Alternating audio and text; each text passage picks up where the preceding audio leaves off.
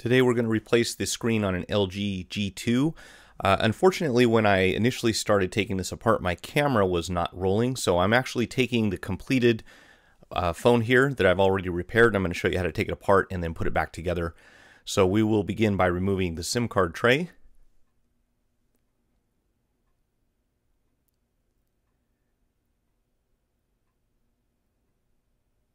And the next thing we want to do is pry the back door uh, battery cover off.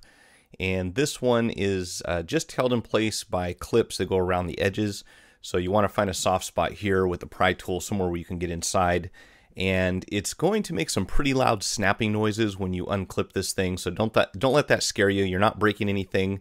It's just clipped on there really tight. But you do want to be careful to um, work your way all around the perimeter here.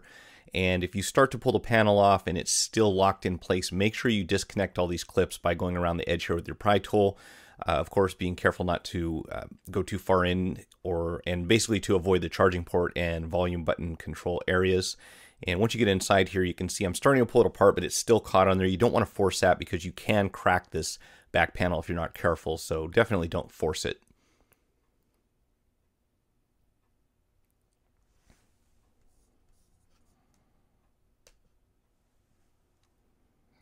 And once we get inside here, we have a whole bunch of screws that need to come out.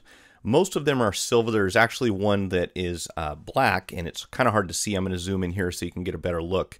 Right here, the first one that we're going to be removing kind of blends into the background. So do make sure that you take out this screw right above the LG logo here.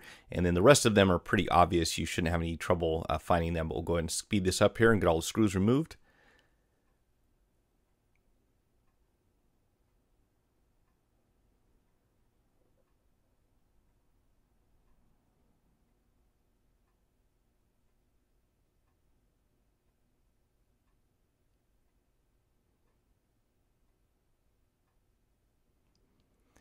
And now we're going to pry this little panel off the top end here. It also has some clips that you'll have to kind of work underneath. But uh, once the screws are all removed, you just, this a matter of prying this off from the right areas. And again, make sure you don't go too deep with your pry tool. Don't want to uh, put any pressure on anything that's underneath there. That does come off pretty easily though. And then we have this interesting uh, flex cable assembly that goes up the sides here. Uh, one little plastic panel on the bottom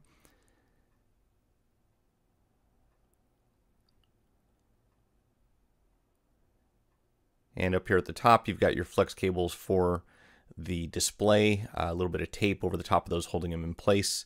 And what I always recommend is that you take your replacement unit, plug it in, and test it before you do the full disassembly. You do want to make sure everything is functional on your touchscreen and your replacement LCD.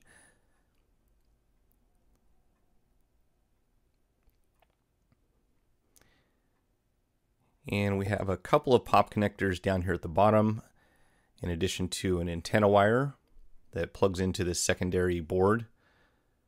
So trying to get under here and as you can see it, it kind of already looks like this antenna wires had some pressure on it and it was like that when I opened it up. So um, as nice as a phone, as nice of a phone as this is, at this point it kind of reminds me of the second uh, antenna wire down here at the bottom. Kind of reminds me of a knockoff uh, Samsung Galaxy phone I was working on recently as far as the design goes.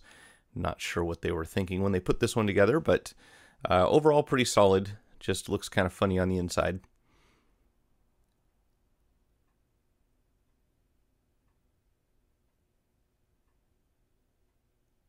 And then up here at the top, we've got some more connectors that we're going to pull off. And there will be a little bit of adhesive under those areas behind where they're plugged in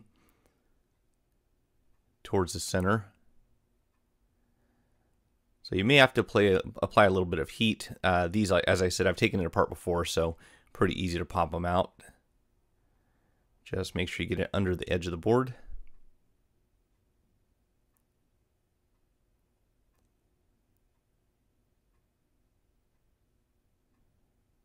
And there you can kind of lift this whole thing back. Uh, be real careful over here on the side though. We need to heat this other piece up and pry that away from the mid frame. Very easy to tear these cables if you're not careful. I just want to get under the adhesive and free that. And then it's kind of uh, a little hard to explain, but everything's kind of just routed a particular way at the bottom here. And we're also going to get under this little piece next to the charging port very carefully, pulling that away from the mid frame as well.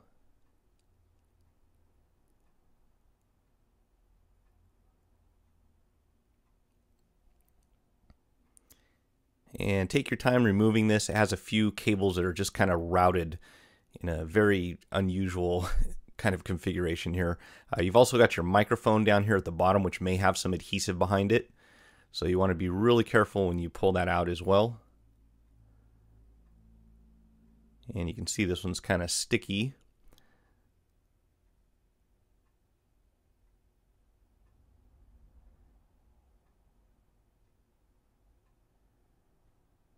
But if you're very careful, you should be able to free everything down here.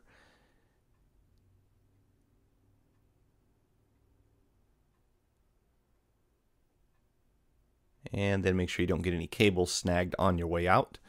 And there's your uh, power button and headset, microphone, etc. interface. And then we've got these flex cables that kind of go through the mid frame here.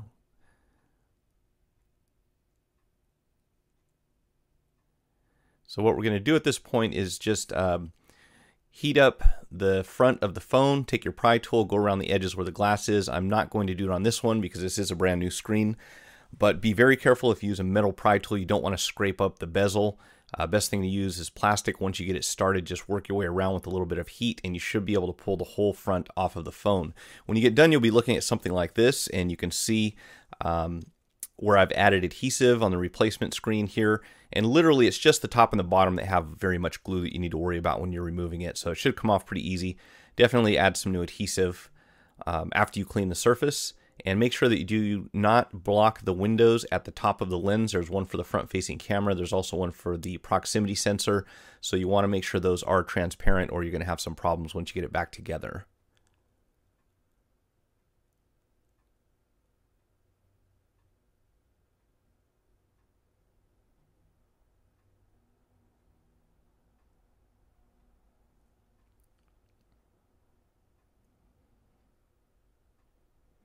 All right, so now we're going to route these cables back in through the housing uh, very carefully, of course. Flex cables can be uh, quite fragile, so you don't want to put any stress on them. Don't bend them any more than necessary, and make sure you don't get anything caught, snagged, or uh, otherwise obstructed as you're working this through. And you've got uh, two different cables down here at the bottom that need to go in. So I'm starting with this smaller one first and then this uh, wide piece here, we'll put that in afterwards and then just kind of route the one at the top, which uh, of course this makes it a little difficult to test the screen initially because you can test um, just the LCD and not really the touchscreen without um, pretty much pulling the whole logic board and the battery out of the housing. So while I like to do that, it's kind of tricky on this particular phone.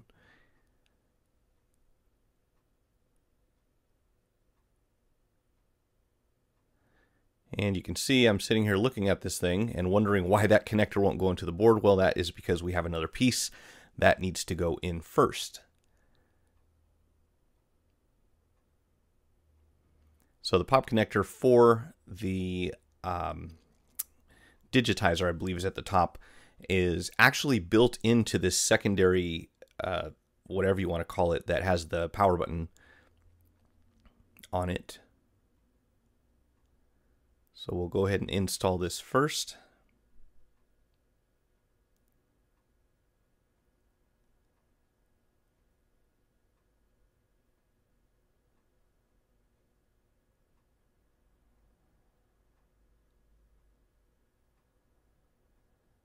And lining these pop connectors up can be a bit tricky. Make sure to not force them if they're not straight. You don't want to just put excessive pressure. You can actually damage them and in the worst case scenario, if you damage the one, the connector on the logic board, you're probably going to have to start all over and look for a replacement unit. We have uh, antenna wire here that came disconnected at some point during the repair. And you want to make sure that these actually go right down the channels that are uh, designed for them on the side of the phone. There's actually one that they share right here in the area that I'm working on. And if you don't have your antenna wire down in those channels, you will pinch them when you put the back panel onto the phone. Um, it'll either not seat properly or you'll be putting pressure on those, and these are pretty fragile as well. And of course, unique to this phone. So if you break those antenna wires, you've got to find a replacement somewhere else. Down here at the bottom, it can be a little bit tricky routing this stuff through. And this is where it gets a little bit frustrating because you've got all sorts of different cables going in different directions and this weird looking plastic thing that's attached to the microphone area. I'm not sure uh, what made them decide decide on this design, but it is a little goofy on the inside. So I'll try to get a little closer so you can see what I'm doing here.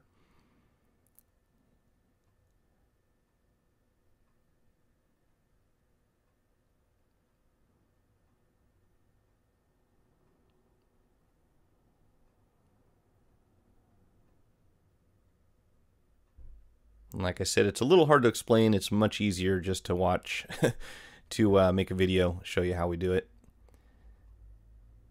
But these things have one particular way that they can be installed, and otherwise it just doesn't come together properly.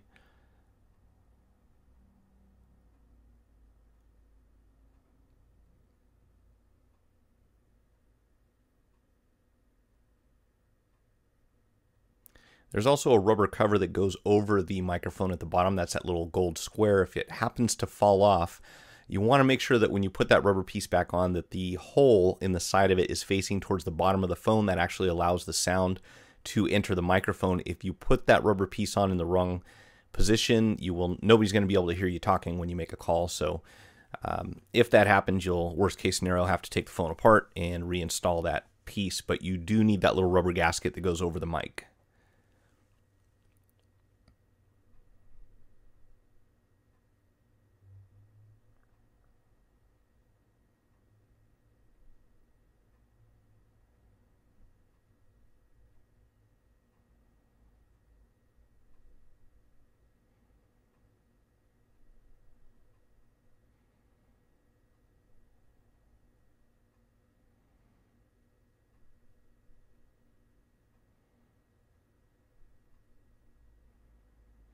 And hopefully this part goes a lot smoother for you than it did for me. It took me a little while to get this thing situated in the right position.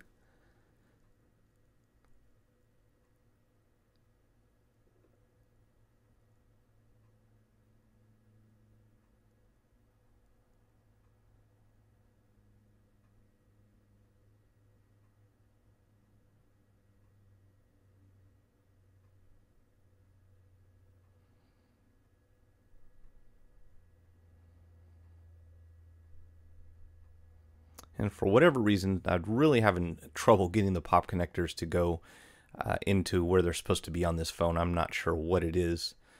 Just a little tricky.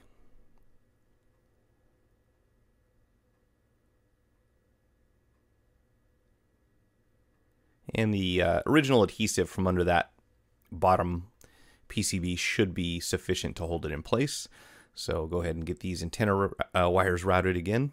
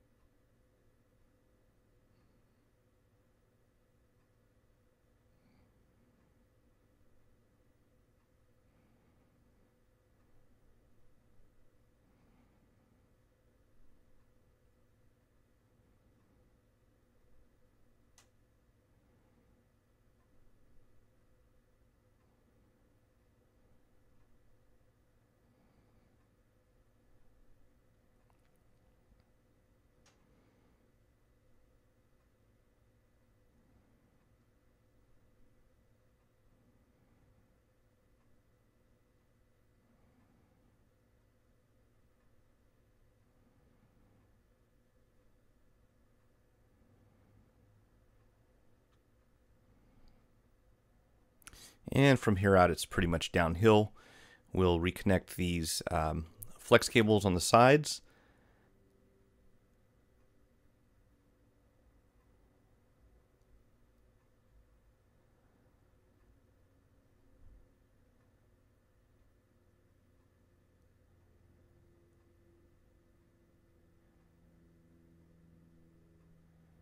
Make sure that little piece down where the zero is uh, right here, make sure you get that installed in the right position as well. Should be sticking to the frame.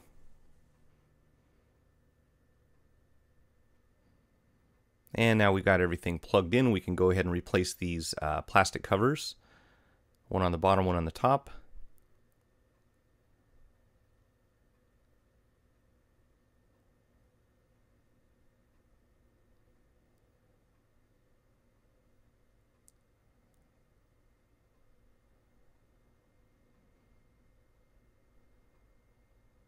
And you can see I was kind of holding that as I put the first screw in into the phone.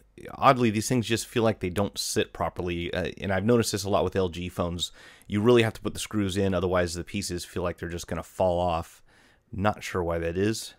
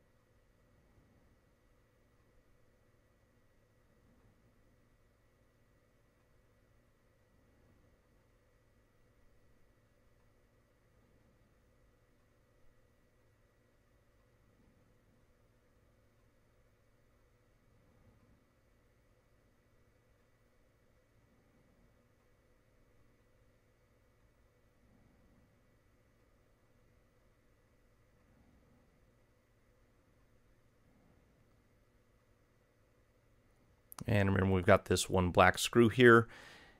And after that, you can go ahead and install the rest.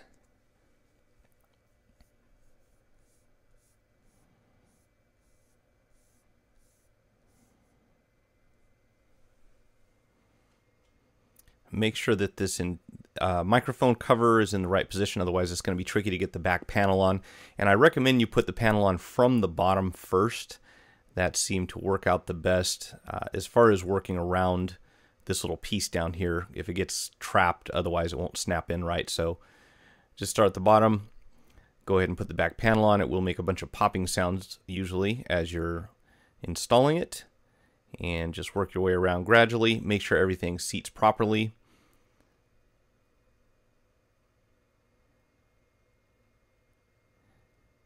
We'll go ahead and put the SIM card inside And again, just work your way around the perimeter, make sure everything looks nice and smooth. You should be able to fire it up and make a call. If you found the video helpful, hit the like button, share it with your friends, subscribe to my channel, and follow me on Twitter or Facebook. Post your questions in the comment section below or visit gocellphonerepair.com forward slash forum. Thanks for watching.